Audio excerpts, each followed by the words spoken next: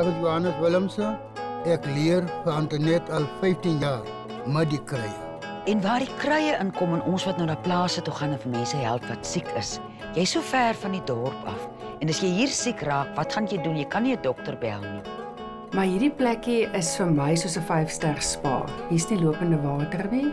Hier's nie krag nie. Dis wonderlik. is nou al seker meer as 3 jaar wat ek hulle krye gebruik. Hulle doen wonderlike werk op Teefontein. Hier word lewens gered deur 'n takkiewille als wat iemand vir iemand aangee. Dan sien jy voor jou oë, hierdie kruie beteken nou in hierdie lewensnood vir iemand iets wonderlik.